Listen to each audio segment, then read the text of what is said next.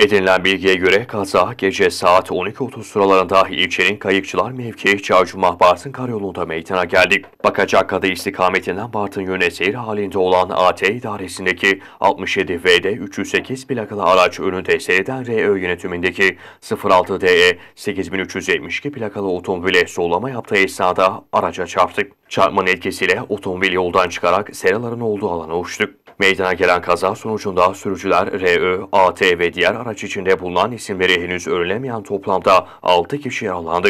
Yaralananlar arasında birinin hamile bir kadının olduğu öğrenildi. Kazanın ardından olay yerine çok sayıda 112 acil sağlık, Çaycuma Belediyesi İtfaiye Müdürlüğü ekipleri, bölge trafik ve jandarma sevk edildi. Çarpmanın etkisiyle şarampole uçan otomobilde bulunan yaralılar itfaiyenin müdahalesiyle sıkıştıkları yerden çıkarılarak sağlık ekiplerine teslim edildi. Olay yerinde iki müdahaleleri yapılan yaralılar daha sonra ambulanslarla Çaycuma Devlet Hastanesi'ne kaldırıldı.